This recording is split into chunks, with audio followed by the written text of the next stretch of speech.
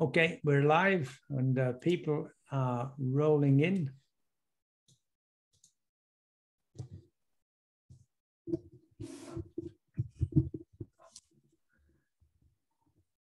Yeah, welcome everybody.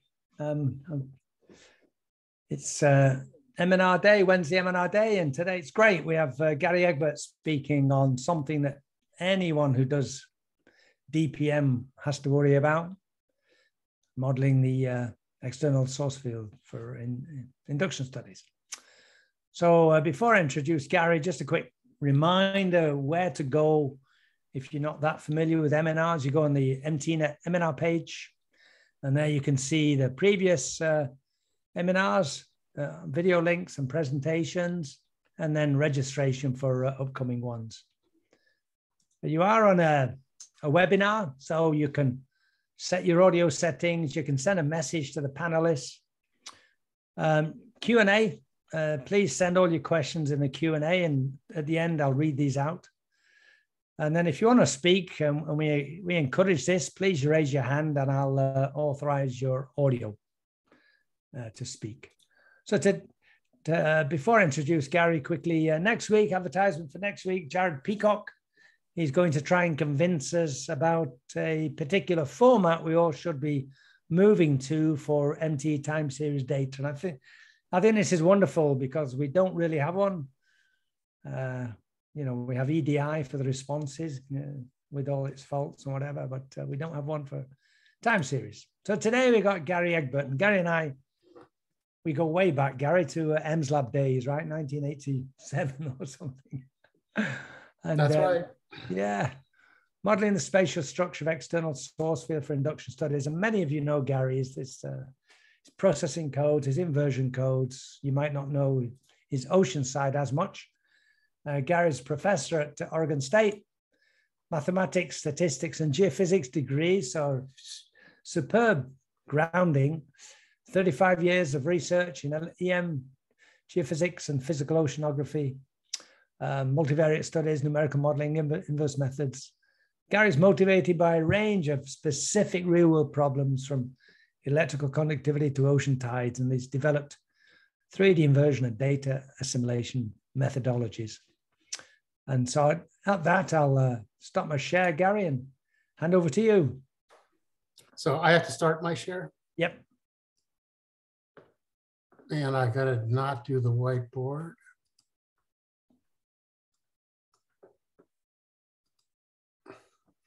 Okay, well, as Alan already said, I'm going to talk about modeling spatial structure of external source fields. Uh, and I'm going to try to focus on induction studies, but I'm going to also try to make the point that there's probably a lot of other reasons, and you know, GIC, which is something that's been very big in our community recently, is, is certainly one of those. Um, so uh, an outline of the talk. Um, I'm going to start with a, a, a bit of a, motiv a, motivation and overview, and then I'm going to describe the approach that uh, has been de we've developed so far and illustrate it with a summary of a paper that was published in GJI last year uh, entitled Modeling Diurnal Variation Magnetic Fields Due to Ionosphere Currents. Uh, and, uh, and then I'm going to talk uh, about a, more recent uh, work that's an application of the source model that we've developed to trying to constrain uh, transition mantle transition zone conductivity on a global average so far. And that's work with uh, Chong-Hui Chen.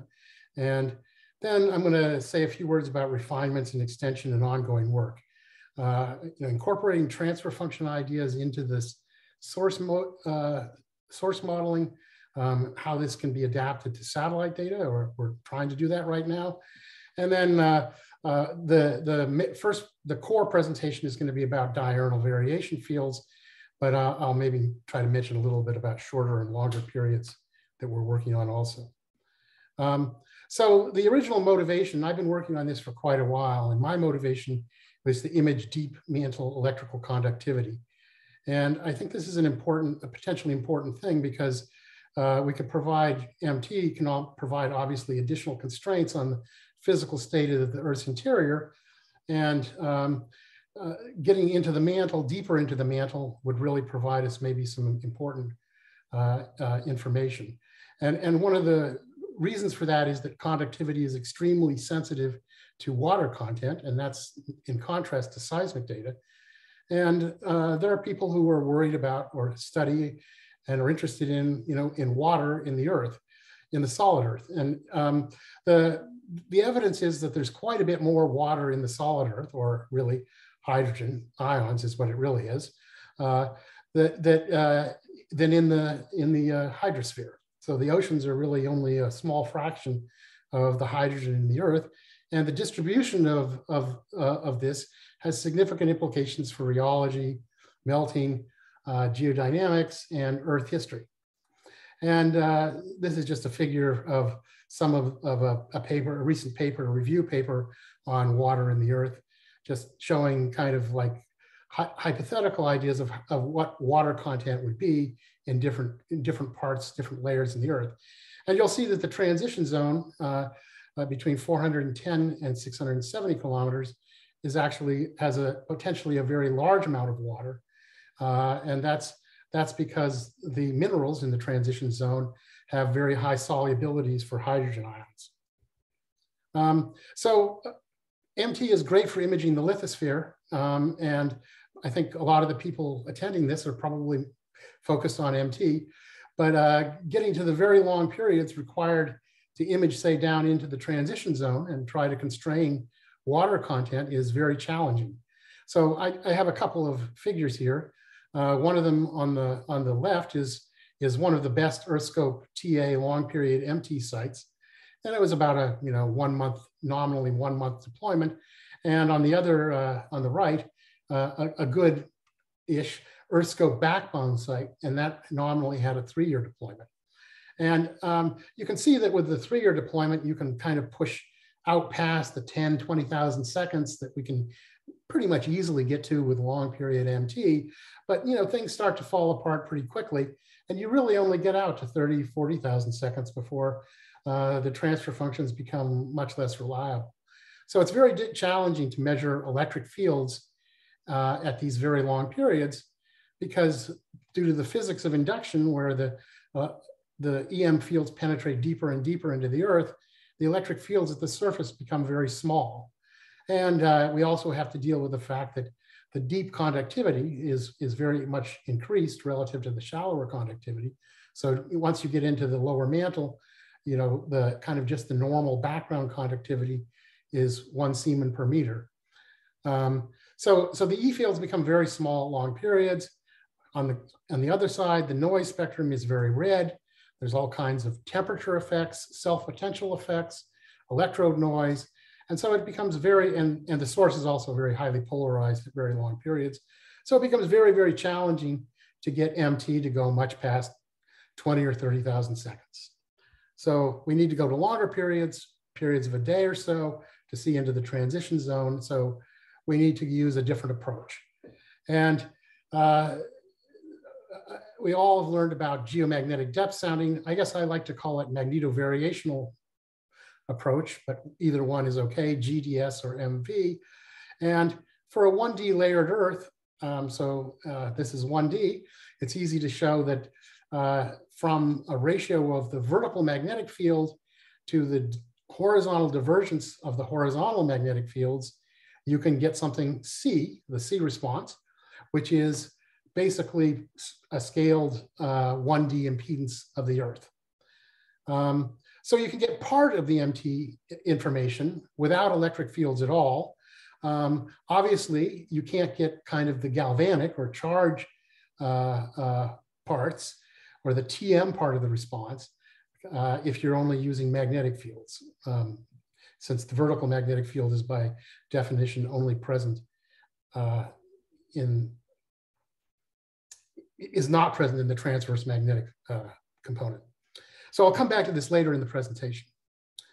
Uh, but um, in fact, of course, the, the magnetovariational approach predates MT significantly. And really it was almost a century ago that uh, Chapman and his students showed that the Earth was very conductive below about 600 kilometers depth, which we now understand is due to a phase transition to bridgmanite in the lower mantle. Um, it wasn't really understood why it was much more conductive at that at the time that this was discovered. But so this was discovered by assuming a ring current source, which is really the dominant source at the longest periods, uh, a loop of current um, around the Earth, uh, which causes uh, a a P10 dipole source on the Earth's surface. And you can get this C of omega from a local ratio of field components, BZ over BX. And, and really this is the kind of the original kind of induction uh, technique that was used in the early days. Um, oops. Uh, since that time, of course, a lot has happened. Um, and um, these uh, C responses have been inverted uh, in 3D with 3D inversions. I'm just showing an older study, which I was involved in here. Um, and it used 59 mid-latitude observatories, 28 periods from five to 100 days, made this P10 source assumption with some correction for auroral currents, and took the C responses from Fujii and Schultz, 10, 10 by 10 numerical grid, uh, tried to correct for the shallow conductivity variations in the oceans. And the net result of this was uh, the suggestion from this 3D inversion that there were large conductivity variations in the transition zone, which were interpreted as variable hydration. Now, in fact, uh, um, the period range in this was not really ideal for imaging the transition zone. So I'm a little bit dubious about the conclusion, the robustness of the conclusion. So I think there were a lot of limitations to this early study. Uh, one of them was the small number of observatories used, and there were very few in the Southern Hemisphere. Uh, there were still source complications at high latitudes, and by high, I mean anything greater than 50 degrees or maybe even 45 degrees. Um, and as I already mentioned, the very limited period, range severely limits resolution in the upper mantle. So really, to get into this upper mantle um, and into the transition zone, you need to use daily variations uh, periods. So periods of like hours to a day or two. And um, this is very challenging to do because, uh, because these sources have cur uh, the current sources for these fields are in the near Earth ionosphere. And they have very, can have very small spatial scales and uh, are very challenging uh, to uh, estimate accurately what the spatial structure is. So I'll also say that there's a lot of progress that has been made and a lot of work has been done. And I think maybe you've even heard some of it on this EMinar series, um, you, you, know, like looking at satellite data and other things. But I think that there's still um, a need for uh, uh, esti improved estimates of the source fields, especially in this daily variation band. And that's really what the focus of this talk is about. So Alan mentioned that I did work on um, oceanography, and I thought I'd just give a, a short aside on, on, on what I did, because what I'm doing now with the source field estimation is really kind of building on a big part of my scientific career, which was spent on oceanographic data assimilation with a focus on ocean tides.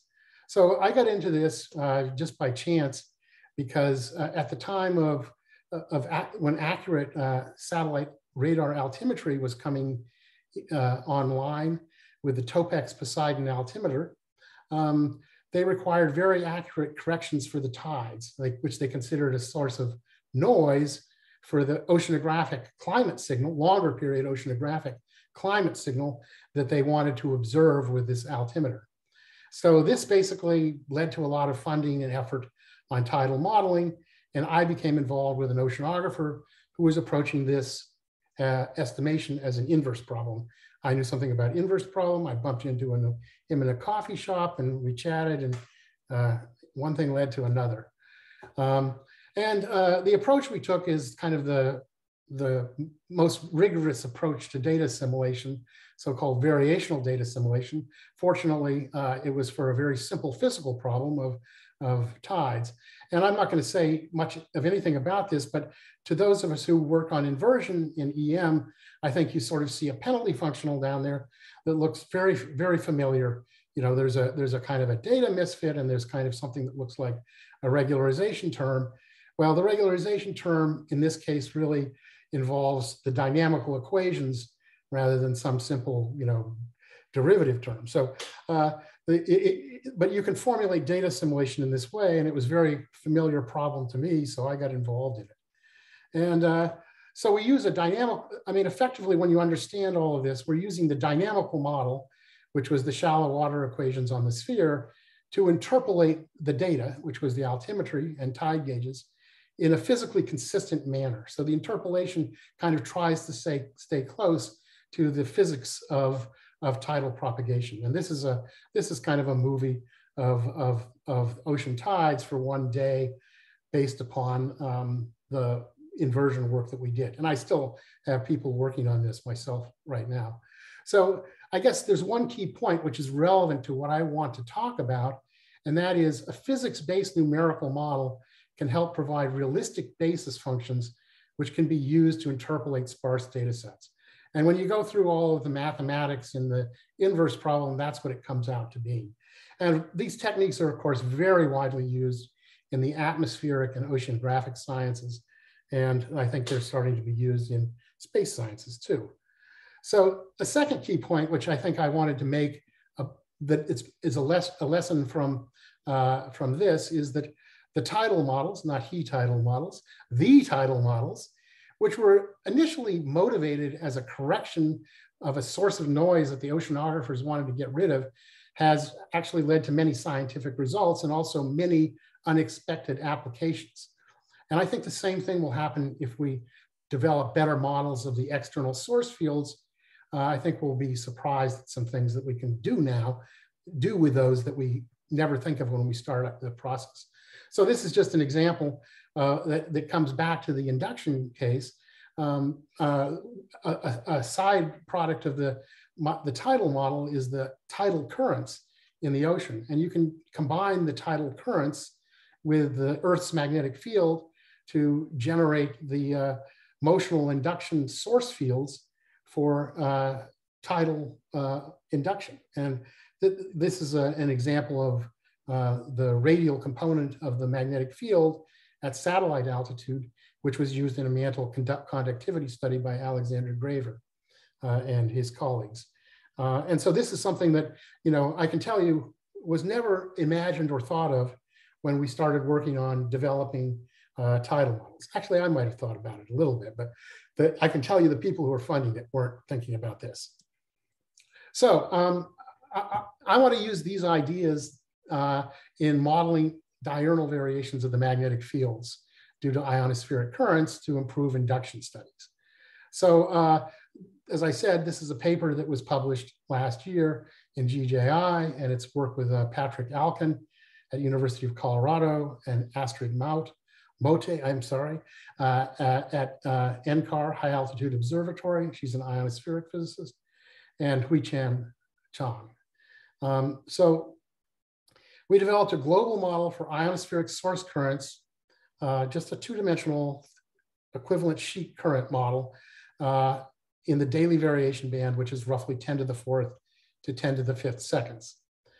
The uh, model is actually for all geomagnetic conditions, so not just quiet times. Uh, it has an hourly cadence because I used hourly means for the uh, data constraints.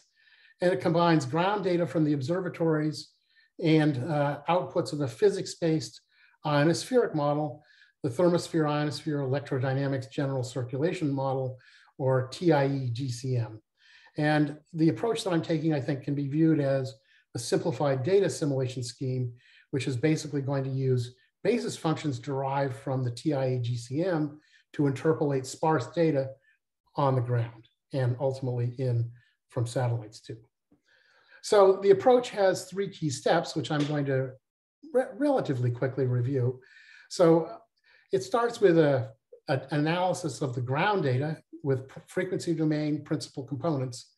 And so this is something that, you know, I guess I've been talking about for a long time, um, actually since about the time I first met Alan. Uh, this is what my PhD was on. Uh, so from this, I can decompose uh, the ground data in the frequency domain into data modes which are sampled sparsely in space at the ground observatories. And in the frequency domain as a sequence of Fourier coefficients in a sequence of continuous time, continuous sequence of time windows uh, which I would call the temporal data modes. Then second, I'm going to use the TIE GCM basis functions to interpolate the data modes in space so that I then have something that's continuous in space. And then I'm going to invert the temporal modes back to the time domain. And the result is a global model, as I'll show, of uh, daily variation magnetic fields on the ground uh, that is continu global, continuous in space, and continuous in time. So the first step is the data modes, which are derived from frequency domain principal components analysis of observatory data. And the results I'm going to show you were based on 127 out of 182 geomagnetic observatories that ran for at least a few years, some of the time, most of them for most of the time, between 1997 and 2018. And um, the, principal components analysis can be viewed as this decomposition into products of spatial modes and temporal modes. And um, I use uh, this crisscross or regression approach, which I developed with Maxim Smirnov, which uh, makes it possible to have large gaps at some of the sites and missing data. Um, I, I, guess I could go into that if anybody has questions, but I think I'll just sort of, I've talked about it before, so I think I'll just uh, say that we alternately fit the spatial modes, which I'm denoting with red, and the temporal modes, which I'm uh, denoting as green, using a robust regression scheme, going back and forth between the two. Um, so the result of this is a series of spatial modes, and I do this in this decade-wide frequency uh, band of 10 to the fifth to 10 to the minus fourth hertz, 10 to the minus fifth to 10 to the minus fourth hertz, uh, which is in a total of 11 frequency bands, and I have I save 20 modes per band. This is uh, mode one at one cycle per day, plotted uh, as uh, horizontal components of the complex magnetic field. This is all in the frequency domain. Everything is complex, plotted at the observatory locations. So these are the magnetic fields, and they're the red parts are, are imaginary, the blue parts are real, so they're all complex. These are the spatial variations of magnetic fields that is the, has the largest amount of variance at one cycle per day. The temporal mode is a sequence of complex Fourier coefficients for each time window. And as it shows on the bottom, that spans from 1997 to 2018. Um, and you can see the 11 year solar cycle in this and uh, a lot of other things. Okay, the second step is to interpolate the data modes, which are sparse. So again, these are the data modes here. Uh, I don't know whether you can see my cursor, the, the, the, spatial data mode. My goal now is to make that into a continuous function, which is defined everywhere on the globe.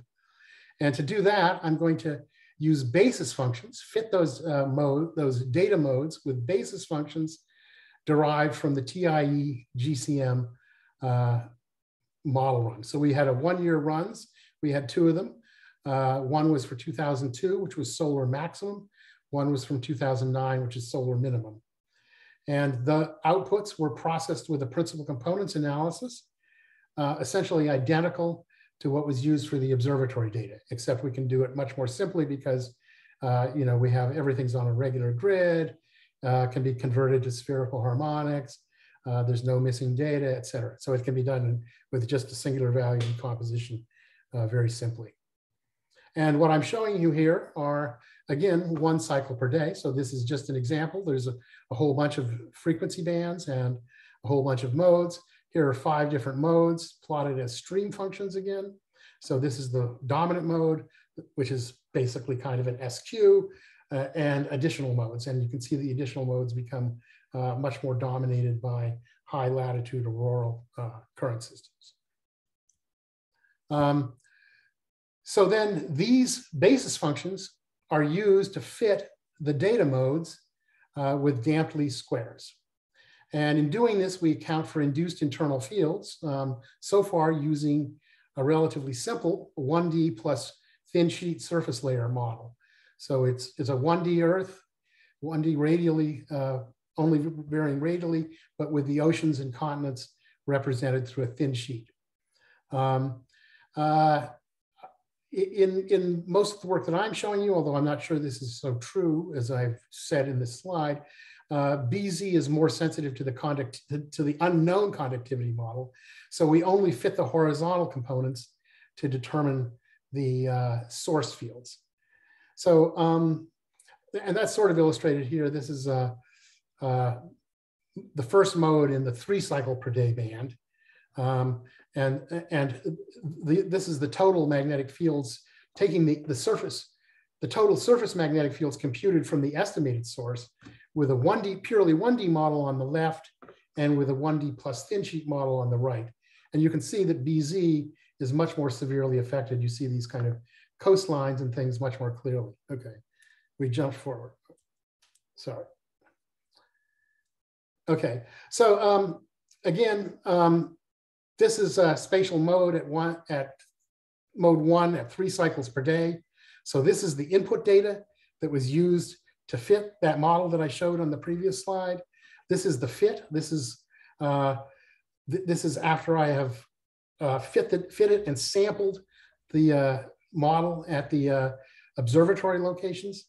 And you can see that it's pretty good, but if you look at it carefully for a while, you'll see some discrepancies. So we don't actually, of course, fit the capture everything. So like, for example, uh, in, in, the, uh, in Antarctica here, we're not doing very well at all.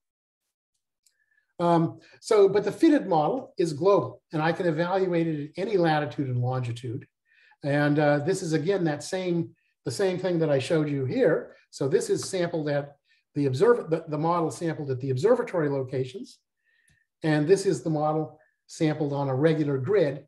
And you can see that it's actually a relatively smooth, uh, well-defined uh, um, model. And the, the, key point is, is that we're using, we're getting the basis functions for this, a relatively small number of basis functions that are physically consistent with this TIE GCM as to do this interpolation and fitting process. Um, this is another representation of source estimates. The source estimates can be represented because we're only um, as an equivalent current sheet. So this is, uh, as I'll come back to in a second, uh, later in the talk, uh, rather, uh, uh, we, we need to think about three-dimensional current systems when we try to do, use satellite data. But so far I'm using only ground data and we can kind of represent uh, everything with an equivalent current system. So this is the equivalent sheet current at 110 kilometers for mode one, one cycle per day, and mode one, three cycles per day. And I'll just say that most of the variance in the first 20 data modes can be stably fit with smooth source current sheets like this. This is just showing the amount of variance explained uh, for the first 10 modes um, for, for all the 11 frequency bands. Uh, so the, the, the blue curve up here is mode one and so on. So these are, and as you sort of see, as you go down in the mode number, so the modes have less actual signal in them and more noise, the fit becomes poorer and poorer. Also, the first, the highest modes, the, the dominant modes tend to be spatially simpler and thus easier to sort of uh, fit with the TIE uh, basis functions. Okay, so those are the first two steps. So now we have sort of something that's continuous in time and continuous in space, but the, the continuous in time is really uh, illustrated by these by the plot that I showed you before of these uh, sequence of discrete Fourier coefficients um, uh, in the frequency domain. But I can convert this into uh, temporal basis functions by inverting the Fourier coefficients from this short time uh, Fourier transform with overlapping windows. It's straightforward to invert that back to the time domain and you get modes uh, that look like this. So actually I'm only showing you uh, a 20 day window because actually if you show like something like this, you can't see anything except the envelope of the oscillations. But this is mode one, mode two, mode three, mode 10. These are at one cycle per day. And I'm showing you this at a time window that I'm going to use for some of the other things I'm going to show, which is in a transition from a quiet time. So this is the quiet time to an active time. So in the quiet time, uh, KP, this is KP plotted down here, was on the order of one. In the active time, it was on averaging four and peaking at seven. Um, so uh, I'm going to show you some results from this also. Uh, but the, the key point is, is that I can go from, from these, the frequency domain back to the time domain. Um, and actually, I, you keep the com complex nature in the time domain with the Hilbert transform. So again, this is just sort of a, a repetition of what I've just of what I've just been showing you. Uh, we interpolate these the, the, the spatial modes from the principal components analysis of the data to get this these spatial variation functions. And we have the temporal modes, which are time continuous functions of time, sampled at once per hour. Um, and the sum over all of the bands and all of the modes is a model of the magnetic field in, in uh, the daily variation frequency band, global for the time window 1997 to 2018. So um, I'm going to now compare, show you some comparisons between the data, which is the blue curves, uh, the projection onto the 20 PCA modes. So basically, I'm only keeping some of the data signal and then the fitted global model in red. So the projection under the 20 PCA modes is black. It's probably a little hard to see this, but I think what you can sort of see is, especially during quiet times uh, and at mid latitudes and even in the auroral zone, um, that uh, the fitted global model captures the, the time variations of the magnetic fields at these sites quite well in both BX and BY components. Uh, I'm not showing you BZ here. It's not quite as good because we didn't fit those. And also BZ is in fact more affected by the sort by the magnetic, by the earth conductivity, which is certainly not perfect in this model. So uh, one site that was not so good in this is, is Huancayo in Peru on the equatorial electrojet. And we believe that, that the failure here is probably because of limited resolution in some of the post-processing that was done in the TIEGCM and that this can be improved. So this is the same time interval as on the previous slide, uh, quiet conditions and then storm time. The fit of the model is not quite as good in the storm time, but it's really not too bad. It really captures the main features of the storms, uh, even, even with this um, thing. So this is a comparison between data and uh, the fitted global model, um, but at validation sites, which were not included in the model construction. So if I, I guess I maybe failed to mention that, but there were 182 sites and I only used 127. And that's because some of them didn't have data for very many, uh, for, for very much time. And some of them uh, also were very dense in Europe. So I thinned it, things out to get a more globally representative thing. So these are some sites that were omitted uh, for one reason or another. And th this is sort of showing that, in fact, even for these omitted sites, uh, we do really quite well in reproducing the daily variation fields, both in the quiet times and in active times. And we do best at mid latitudes. Um, but I, I, was actually kind of astounded at this uh, 80 degree latitude. So this is kind of above the auroral uh, oval. But the fit is really quite astoundingly good, even though there's quite it, it, there's some quite a bit of activity during this time. So uh, this is a first cut at this model, but I think, and it can obviously be improved, I think. So these are some snapshots of the model. Uh, two, two, uh, one, two days sampled six hours apart from the 21 day time window. The first, the left column is from uh, uh the quiet time and the, the right column is from the active time.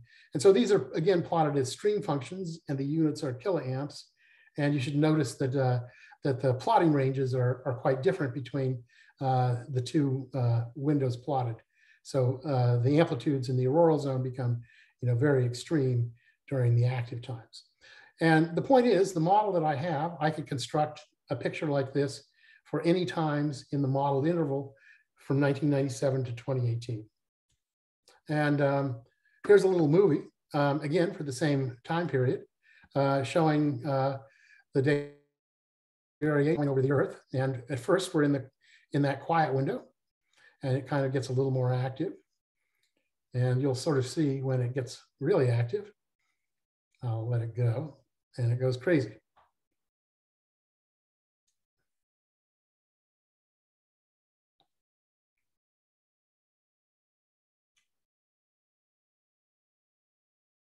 And tapers off. So um, that's the uh, model that was published in the date in the GJI. Um, and uh, we're now um, with working with uh, Changhui Chen, uh, working on uh, you know trying to use the model to constrain mantle conductivity. And uh, for our first effort, we focused on doing a global 1D inversion using a fixed thin sheet model and tried to estimate, try to improve the 1D model of conductivity and then use it to constrain conductivity in the average conductivity, or at least average conductivity beneath the continents in the transition zone. And uh, these are the sites used uh, in this study. And uh, the misfit to uh, the amplitude of BZ uh, with a sign uh, indicated by color, amplitude and, and, and, sign indicated by color. So these, these very pale colors uh, are, are oops, these very pale colors are, are, are fit, fitting within you know, 5, 10% or, or better. Um, uh, the, the dark colors, the fit is not very good. Um, and you can sort of see that, uh, that where we have problems is um, near coastlines, in the ocean, and near the electrojets. So we omitted these sites from our initial global inversion and focused on the sites that could fit best. And they're kind of in mid latitudes and over the continents and not too far and usually not too close to the coast. Okay, so uh, here's, here's a, a, results. We inverted the first five data modes, uh, four periods, one, two, three, four cycles per day using an Occam inversion um, uh, with a fixed thin sheet. Uh, we started from two different 1D profiles. Uh, from Püthe and, and uh, et al., um, Alexei group, and uh, the 1D model that was used in the, that um, 3D inversion that I showed you at the beginning. Um, and the resolution is best in the mantle transition zone, and that's what I want to focus on.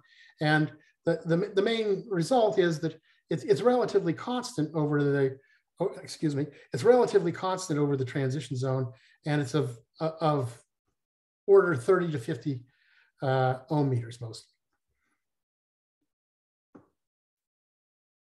So uh, because we know that the Earth is 3D uh, and we know that we don't have such a perfect representation of the shallow structure, uh, we did some tests uh, with synthetic data to see whether uh, the, the global inversions that we did uh, should be trusted at all. Um, and we did a bunch of synthetic, uh, generated a bunch of synthetic data sets using the source models that we had. Um, and we did some checkerboards with uh, different sizes in the lithosphere, upper mantle, transition zone, and different combinations of these, as well as a model um, based upon uh, a, a, global VS uh, model uh, scaled into um, uh, conductivity with a simple scaling relationship. And all of these models have plus and minus half order of magnitude deviation from the 1D background, which was determined from the inversion result.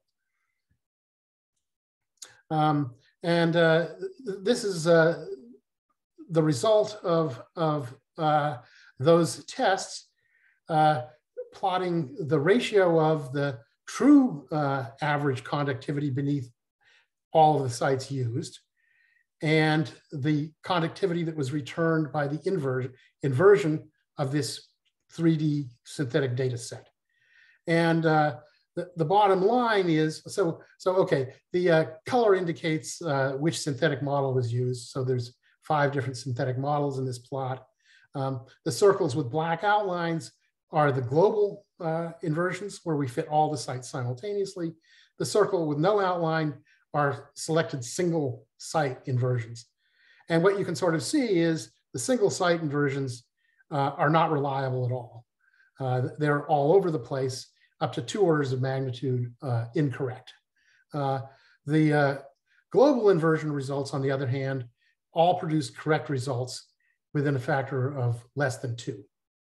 Uh, in So we're plotting here the results for two layers, upper mantle, which is 250 to 410, and the upper mantle transition zone.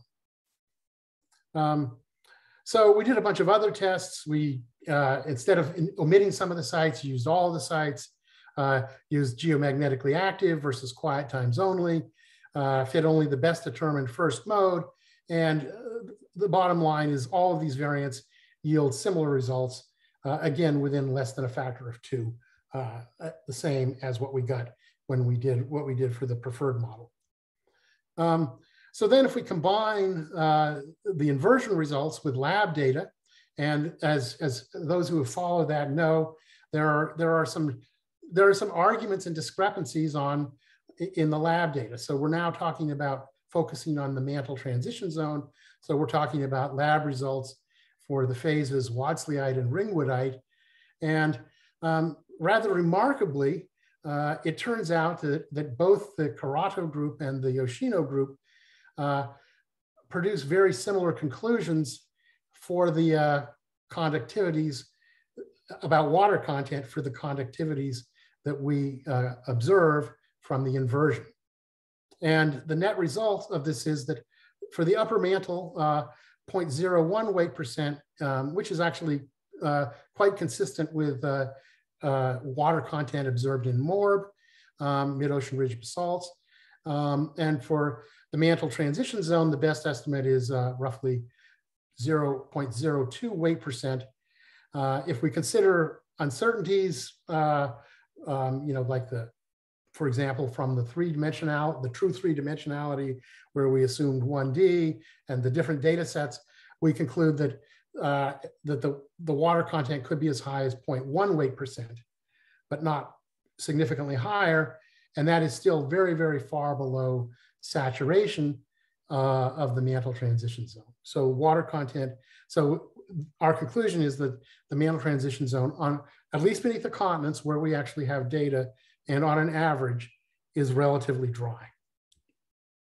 Um, I, I want to show you this as a lead into the uh, to my my next talk, but also to make the point that uh, you know we, we did try to account for the for the you know conduct conductivity of the of the crust through this thin sheet model, but but there really are quite large, potentially quite large variations in conductance of the lithosphere uh, that you know uh, you might really have to get from MT data. So here's here's a, a plot of conductance of of the uh, continental lithosphere beneath North America obtained from inverting simultaneously inverting a subset of all of the um, EarthScope uh, long period MT data.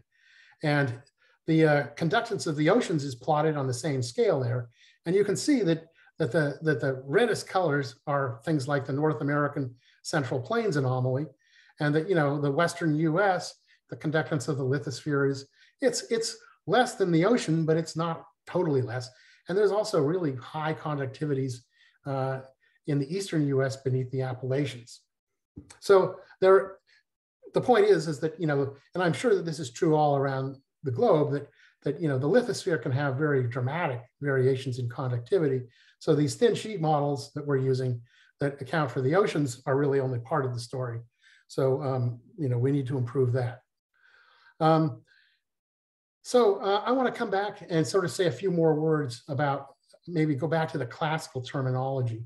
So BZ has two components. Um, in if you read the original sort of works of uh, Schmucker and Weidelt and all of these people, it, BZ is thought of as having an anomalous component, which is the tipper, which is related to lateral conductivity variations, and a normal component, which is due to non-uniformity of the source. And this is the C response or the horizontal spatial gradient approach. Um, so BZ is, can be produced by either of those two types of, uh, of situation. One, lateral variations in conductivity with a very large spa spatial scale source, and one due to the horizontal spatial gradient. And th this is just to sort of go back to that previous picture and show you, remind you what tipper is. I guess everybody listening to this knows about tipper, that this is just plotting the tippers from the EarthScope data on top of that conductance model. And you can sort of see these very large tippers in places where we would expect them, where there are very large uh, uh, condu conductivity anomalies in the, in the lithosphere. Um, so, I mean, I think you can pretty much infer that the 1D local inversions, which we which I showed uh, using our source estimates, failed pretty much due to contamination of normal BZ by the anomalous components. So what I want to now ask is, can we use this source model to maybe help us separate these anomalous and normal components?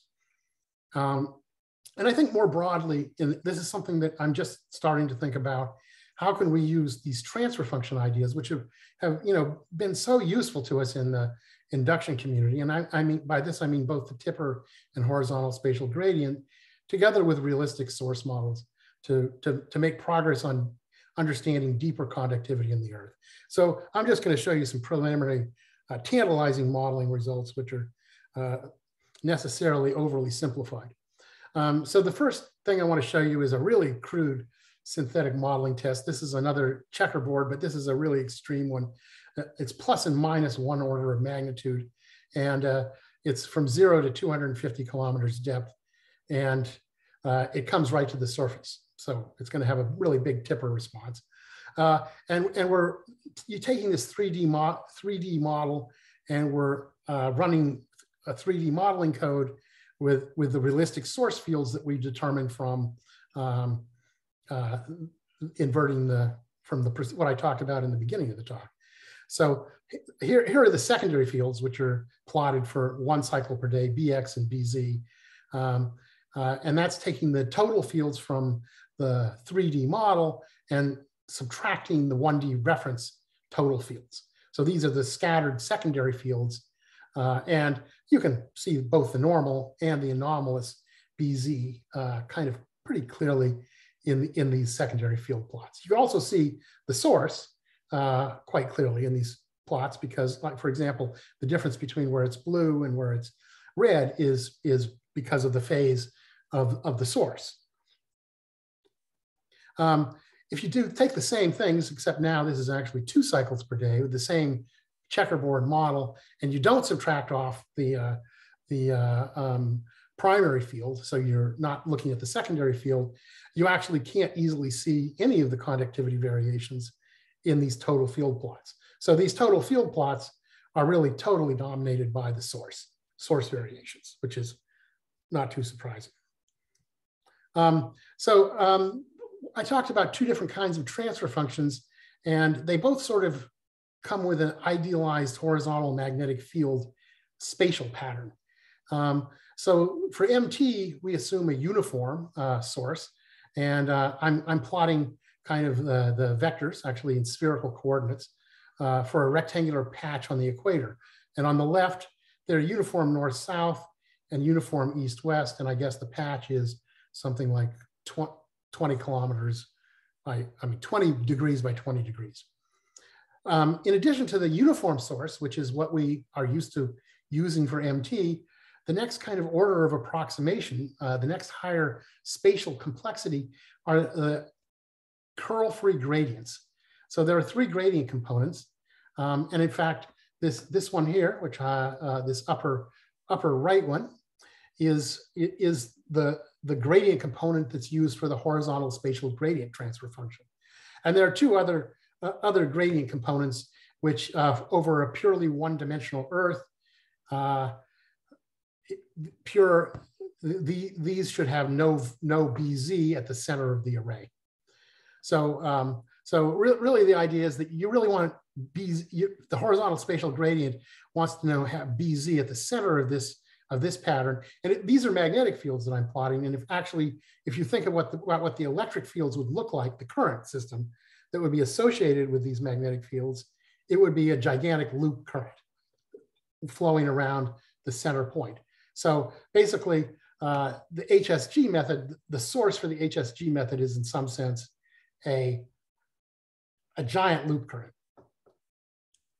Um, if you move to a different place on the sphere, uh, you, you can do everything the same. I mean, I'm actually being a little bit careless here using Cartesian notation and actually talking about the sphere, but uh, I didn't want to sort of complicate it with all of the correct forms for these things uh, in spherical coordinates.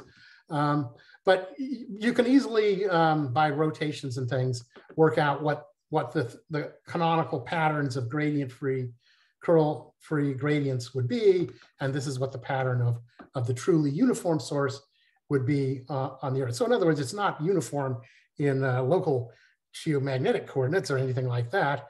It really has to have this kind of curvature in it to really be uh, truly uniform. Um, something we should be doing in our 3D uh, inversions, by the way, um, if we have large, large areas. Um, so so um, what I want to do is I want to see, can I sort out these uh, uh, components, these plane wave and gradient components uh, from the modeled synthetics. So I have 20, I have synthetic results for 20 modes, um, the 20 modes that I estimated for each frequency band.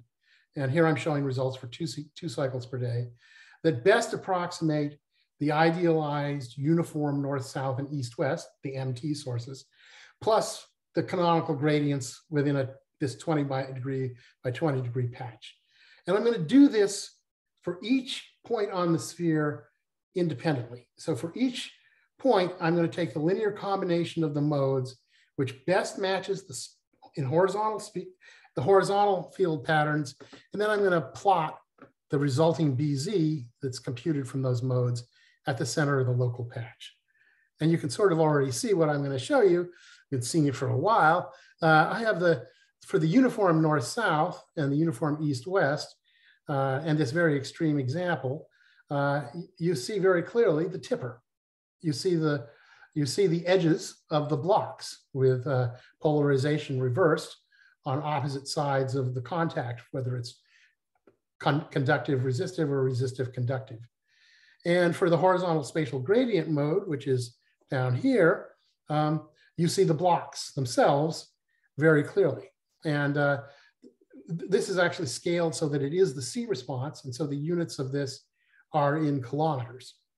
And um, what we haven't done yet, uh, which I was trying to get done before this, but didn't, is to actually see how well this works, uh, both in terms of, you know, like kind of the Schmucker rho star, Z star type inversions, or a, or a real 1D inversion to see whether or not you can actually get, uh, recover the 1D conductivity reasonably from this, but I didn't get that far yet.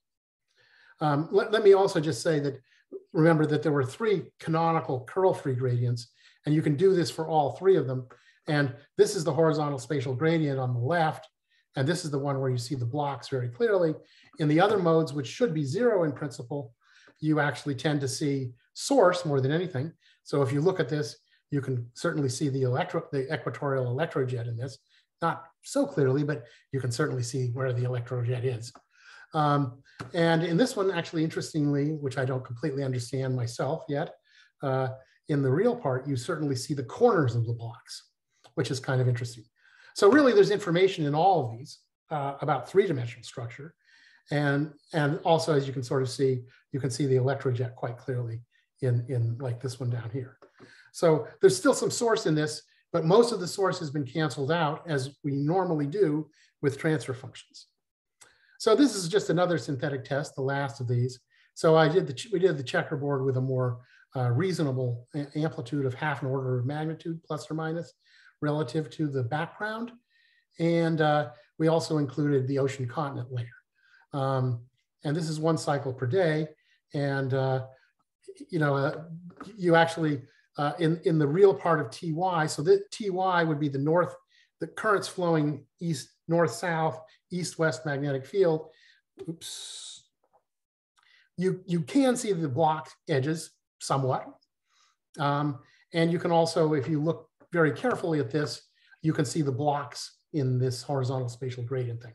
For example, uh, notice the difference between uh, Western Australia and Eastern Australia, and that corresponds to where it's resistive in Eastern Australia. So the penetration depth, which is what the real part of C of omega can be interpreted as, is greater in Western Australia than in Eastern Australia. And you can actually see, if you look at this carefully, you can see all of these, all you can actually see all the blocks uh, in this. But you can also, of course, quite clearly see uh, the thin sheet in this because that also is influencing the horizontal spatial gradient response. So you need to do 1D inversions. So um, I, I, guess uh, uh, one thing that we want to look at and test soon is whether this plane wave and gradient separation uh, could make 1D inversion of GDS more useful. But uh, of course, I would still advocate full 3D inversion. Uh, why not? We can. But I think that actually being able to look at, um, you know, to divide things up and use these transfer function ideas will really help us evaluate and understand uh, resolution and what we can really trust in our models. So I think it's a useful idea. So I, I want to talk just a little bit about source models at continental scale. Um, because I think a, a, lot of times I think we're, we're going to really want to maybe work at that scale, not globally. There's just too many holes in the global uh, compilation until we can get satellite data used effectively. So, and it's simple at mid latitudes, uh, simpler models uh, are, are likely sufficient for, for modeling the source field. And in particular, this kind of idea of the uniform plus gradient at, at the scale of the whole continent uh, captures most of the variance. Um, I have evidence that there are, I think, field aligned currents that are also a significant component uh, that may also want to be included. But I think you might be able to make uh, localized models that are uh, that can take advantage of the fact that there's maybe higher densities of data in some areas like Europe and North America, uh, uh, China, and so on. Um, and you can sort of embed these kind of regional scale models in a global source model to reduce boundary effects. So I, I still think that the, it's going to be very valuable to have these global models, um, not just at the daily variation band, but at other frequency bands, which I'll say a few words about later.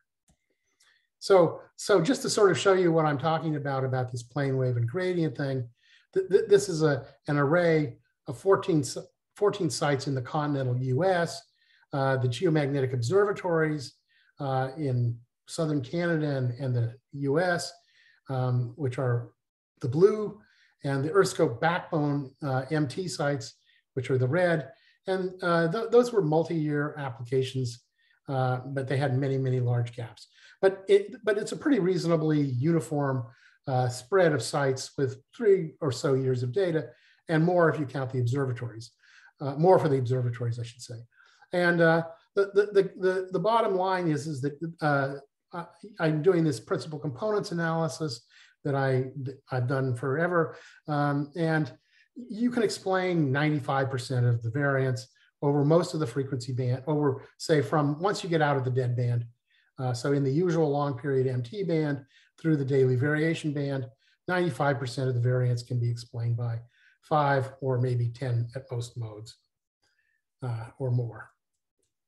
Okay, and the first five spatial modes look like this. And uh, I'm plotting here both um, the, the magnetics at the way that I did before, but in green, and the dashed are the imaginary and the, the real or the solid.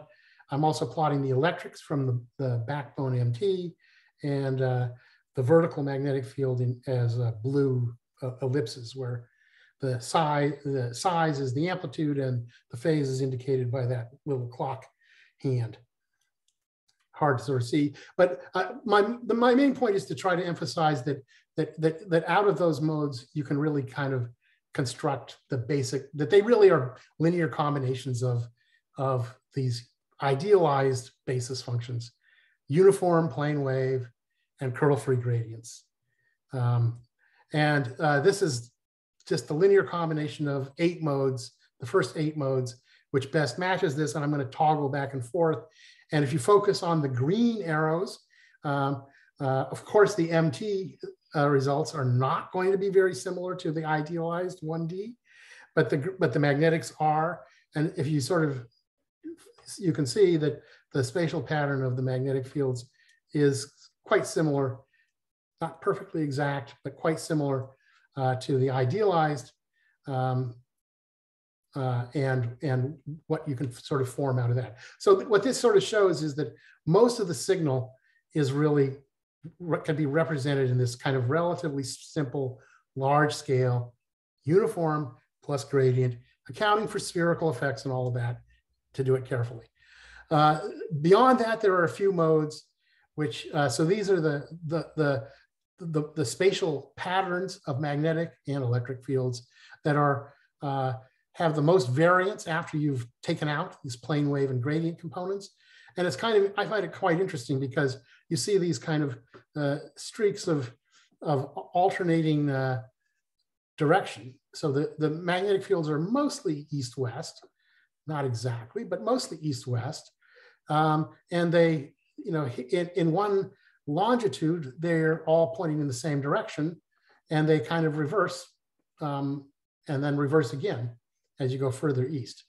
And uh, if you look at a whole bunch of periods, you see basically the same general pattern. So again, uh, uh, on the on the west coast, things are pointing to the west. You go a little further east in the U.S., things are pointing to the east. You go further, and things are pointing to the west again. And my interpretation of this is that these are shorter meridional wavelength field line components. And you actually sort of see similar patterns at a very large range of periods. So I think, you know, working again with, with sort of maybe some conceptual models or maybe with some numerical models, we, we could include in a regional model some of these additional components and improve, capture some more of the variability uh, to have a better regional source model. Um, uh, why do I want to maybe do this? Well, you know, we have a whole bunch of uh, long period uh, MT sites uh, with, with BZ also uh, at, say, the EarthScope site. And we have observatories, uh, which we can use to construct kind of a, this kind of, re, you know, regional scale model. Um, and if you could model the source as uniform plus gradients, you can then use that source model to find what you sort of actually see at the EarthScope sites for those particular source patterns. And so this is this was done, I did this a while ago, uh, and Ben Murphy has followed up on this and done this a little more for more of the sites. I, I, I should point out that there's a hole in this array, uh, which was from the first year of the EarthScope uh, project, when in fact um, the USGS was not routinely collecting one hertz data. So I, uh, and, and making one hertz data available. So I didn't have I didn't have the data necessary to do the global model, the continental scale model uh, for the first year of the EarthScope project. Actually, that's all been fixed by now and that could be done. Uh, and then this is the vertical fields. And I guess I, I, I, want I don't want to go into this too much, but so this is kind of tipper and this is horizontal spatial gradient, but it is a little bit more complicated in this case I, because I haven't, what I really should do is I should take this source model, which is, which says that over the whole area, you can model things in terms of a small number of basis functions, namely uniform and gradients over the whole area, but you should recenter the, the gradient calculation for each location uh, to do what I was talking about uh, in the global daily variation model for those other plots. So I, that hasn't been done yet, uh, but I think that the idea is, is we could get horizontal spatial, we could use a reliable source model to get horizontal spatial gradients at estimates at a large number of these uh, EarthScope sites. And we could get sort of an independent, somewhat independent uh, uh, induction parameter to that, that is not affected at all by surface distortion and statics to, to compare to uh, some of our results that we're getting from MT. I'm sure that the MT is more useful but I think that this would be a useful addition. Um, I want to sort of say that there's similar results were obtained in a paper with Hui Wang uh, from China, and there's actually a lovely uh, array of, of magnetometers and electrometers in China that are run by the China Earthquake Administration. And uh, basically the same results, similar results are obtained there, actually even cleaner because China is really kind of lower geomagnetic latitude than uh, North America, than continental U.S. Um, uh, you could you could fantasize, I'll just say, about um, using these ideas with the Sinoprobe data, but right now I think it's a fantasy. Okay, I want to I want to say uh, uh, that there's a lot, in addition to observatories, there's a lot of long period geomagnetic data that can be used for this source model. Of course, the observatories are the highest quality data, but there have been many, many, many um, uh, space physics experiments especially in, uh, in North America, uh, but also uh, in parts of Europe. Um, uh, and uh, you can really fill in the observatory array with some of these things. And many of these, many of these sites have been occupied for multiple years. Many of them have really very good quality variometer data. So there's not absolute baseline control, but I think for the variations that we want to study for uh, EM induction, um, as long as we don't go to too long a period where the flux gates maybe crap out on uh, temperature effects, uh, I think I think you know we can use a lot of this data uh, to improve the source modeling. So I want to say just a couple of words about incorporating satellite data, which is ongoing work that Patrick Alken at University of Colorado and NOAA is taking the lead on. And um, I, I, I, sort of showed this equation before of the daily variation model in time. Um, but um, the point is, is that once you have a, a model represented in time, you can, you, you know, you, you could try to uh, fit time domain satellite data. And look, the way that I want to look at this now is, is that this is an observation equation for the time domain magnetic fields. The, the spatial structure, the spatial structure functions are coming from the TIE. Um, the, the temporal mode variations are coming from the ground data where we have very good resolution of time. And we're now leaving the expansion coefficients as something that has to be estimated. So this becomes an observation equation, just a linear, uh, for a linear model for estimating the expansion coefficients in this time domain magnetic field model that can be fit to satellite data and ground data also, because we also have constraints on the, on the structure of the magnetic field on the ground. And so this is something that we're definitely interested in trying to make work. Um, it's been challenging, I'll just say. Um, one, of the key points that we have to do uh, for this is we can't work with this 2D uh, source model anymore. We now need, if we're going to sort of include satellite data, we now need a 3D model of the current systems. And actually, this is a, uh, you know, potentially very valuable and interesting to uh, the ionospheric uh, and magnetospheric communities to sort of, you know, have data constrained models of, uh, of the currents in the source regions. So uh, th this is sort of one of the modes from doing this kind of uh, principal components analysis of the model outputs, but, but now for, uh, now for uh, the 3D current system. Uh, and this is the current at three components of the current at um, 110 kilometers altitude. And this is just a, a, another mode, mode three.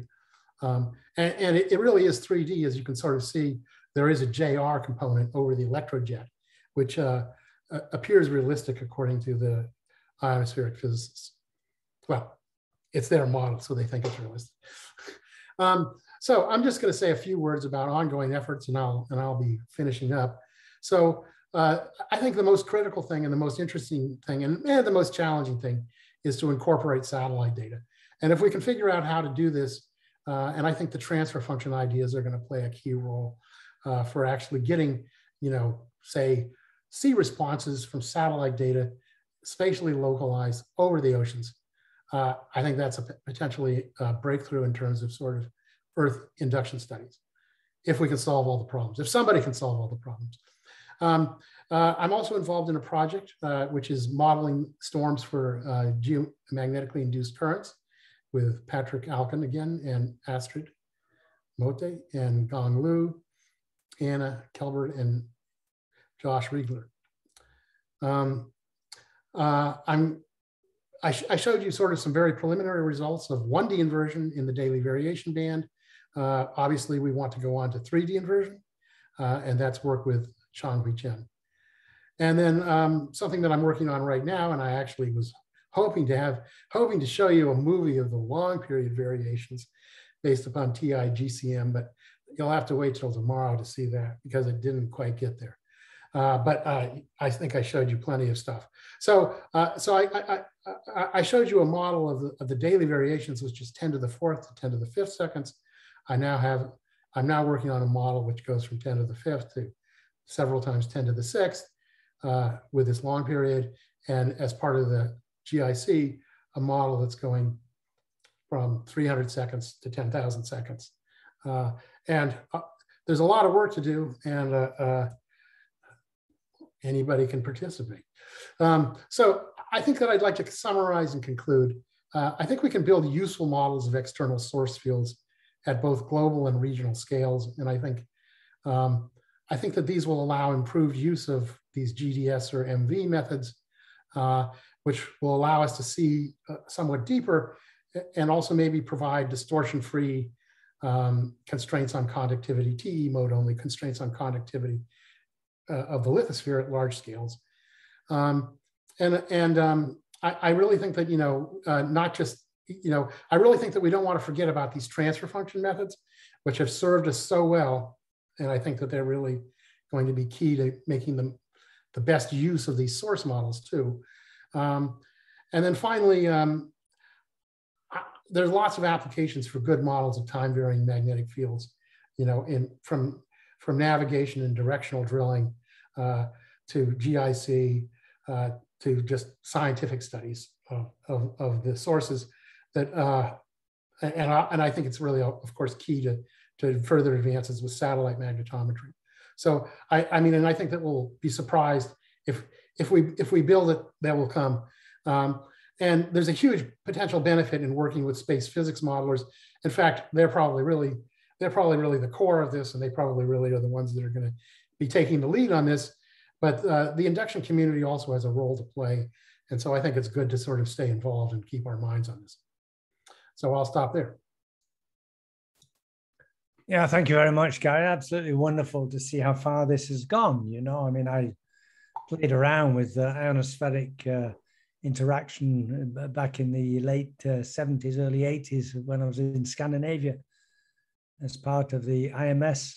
And um, it was very primitive, the stuff we were doing at the time. um, one quick question dating back from what I learned at that time, though, there was a number of papers that came out talking about the uh, interaction between conductivity structure and, uh, and ionospheric current systems. And there was uh, there were some papers that showed that ionospheric current systems seem to mimic the geometry of the Northern European, Northern Russian coastline. So would your modeling allow a feedback like that, that the Well, I mean, I, am dubious. And I all of the ionospheric people I talk to are are highly dubious. I mean, I mean, I mean, you realize, I mean, I, sh I should say that the TIE GCM um, is, is the, the TIE model is, is, is the TIE GCM, leaving out the E, uh, is, this uh, atmospheric model, which, right? You know, models models, you know, um, ionization, which models ionization, and it has a whole bunch of you know ion species and you know models their ionization and recombination and you know the the neutral winds and how those things move around and the radiational forcing from from the lower atmosphere. I mean, I mean the forcing from the lower lower atmosphere and, and all that. And then, then when they want to compute electric currents, that's that isn't actually an output of their model. That's a separate post-processing step because the electric currents are computed with an electrodynamics module separately. And that's because they do not believe that dB has a substantive dynamic feedback. dB in the ionosphere has any substantial uh, dynamic feedback into the, into the general circulation model. And I think that they you know, can analyze the size of the terms that they're modeling in their models and analyze the size of the you know Lorentz forces and all that and conclude that they're just not not worth including. So in other words, they do it in a two-step a two-step procedure. Do you understand what I'm? Yeah, yeah, yeah. And I was just just having a discussion with Astrid today because I thought she was saying something else, and she quickly corrected me to no, no, no. That's that's not that's not what I meant. But but but you know, I, I, I think that as we get you know, I, I mean, I I think I, I don't think that the ionospheric physicists know all of all of everything about all of this stuff. And you know, they they still use they still use uh, you know, a perfect conductor at 600 Right. kilometers depth Yeah. as if they want to include internal fields in Right. their in their calculation. You know, they just because that's very simple. It's a, you know, it's a it's a zero phase. You know, just scale factor. You know, just Right. spatial filter kind of, but with no Right. a real spatial filter that's really simple to apply. Yeah, yeah, yeah, yeah. That disconnect's uh, been around for 40 years, right? Yeah. So I mean, I think that that's another point. And of course, of course, uh, of course, you know, uh, I, I mentioned that we're you know have a project with Anna Kelbert and Josh Rigler at USGS and the ionospheric physics people who've been working on the DV thing to to to look at you know to do this kind of stuff with storms and and also to study more carefully the interactions you know uh, i mean the interactions of source with gic in other Right. words uh, do we have to can we use these mt impedances just or is it, is it, does it sometimes get a little bit more complicated uh, so you know i mean it's an opportunity uh, i would say I, I would say that it's an opportunity to explore those things because the ionospheric physicists i would say don't think that that's an issue but they might not be right Yeah.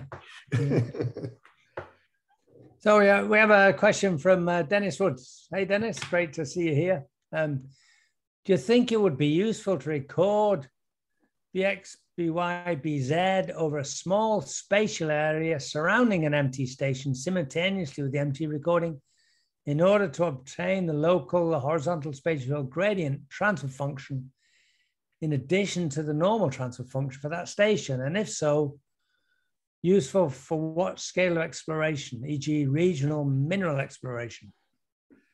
well um,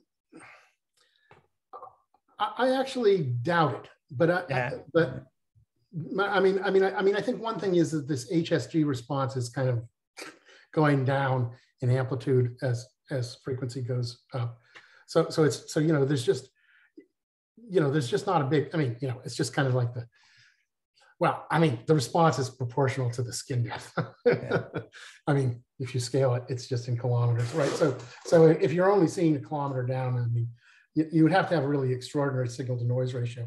But oh, but also I think the other thing is is that um, uh, the source itself, I, I think, except in some special cases. So I, I I argue that we could model at continental scale with this um, you know very large scale plane wave and gradient over the whole continent. That's obviously not true for everything because pulsations have smaller spatial scales. And in fact, you can actually see that in some of the results that I look at in these things. You can find pulsations there that are just not fit by the principal components of the of the of the larger array at all. Um, but but but the, the source itself is mostly, and I and you know I mean as you get to higher frequencies, this is certainly not. It's certainly totally different source. So you would have to look at this. Uh, but but I, I kind of doubt it. But uh, but it you know you, you might be able to get some information about deeper structure, and it might be worth look. It might be worth doing some calculations to see how it would work. But I I don't think so. I I thought it would be great if it was true. I thought of that too, but I don't think it's. likely. Yeah, I think I think for regional mineral exploration, we're talking about gradients from lightning storms. So you have to be within 25 kilometers. Yeah, you'd have to be very close to the lightning storm. storm, Yeah. and then you might not have any instruments left. Okay, is there any more questions from the audience? I think uh, this is uh, new to a lot of people, so they're, they're trying to digest it all. One, one quick question is, um, you, you gave a, a wonderful, you know, early on in the talk, you showed potential for mapping lateral variation of hydration of the transition zone, but you didn't come back to that. Well, I mean, th- that's what the that's what the 3D that's that's what you would have to do 3D 3D inversion Yeah. for. I mean, and I guess I guess my point. I mean, there was. I mean, I, I, showed the results of Anna Kelbert's paper, um, and you know, I mean, it made it made sense because the most because the most hydrated area was, um, you know, uh, Eastern Asia, where you know you have stagnant Right. uh, slabs, slabs stagnating in the transition zone. And you've got, you know, you've also got this, you know, old cold Pacific plate, which could hold a lot of water and, and, and mi- mineral phases, which could be stable to pre- pretty far down potentially, mo- more than in a lot of other places. So it makes sense. Um, but there's not, there wasn't, I mean, the problem is the data wasn't, to me, that, that, that's been sort of the mo motivation partly is to sort of have a good model of the daily variation band where we could do 3D inversions. And so, yes, that's on the plate. That's on the, that's on the, I mean, that's certainly something that we're interested in doing. To come back to that I very idea. Okay, Gary, I think uh, you've not got any more questions, so it's we're over the time. I'd like to thank you again for this wonderful talk, and I'm sure that there's going to be a lot of people will be approaching you as they watch the recording. This this will be up on the MTNet within a couple of hours, and Gary's going to send me his PDF. I'll put that up as well. So, so thanks very convert, much. You want me to convert it to a PDF? I guess it's smaller that way. Yeah, send it as a PDF. I mean, uh, will that will that embed the movies too, or do you want not worried about those? Mm, yeah, mm, but uh, yeah, it's pretty big. It's pretty big yeah. with the movies. Yeah, perhaps we don't need the movies because people can watch the recording to get the movies. Right. Okay. Okay. Well, thanks everybody, and I'll thanks again, Gary. Great, and I'll see everyone next week for Jared Peacock. Bye. Bye.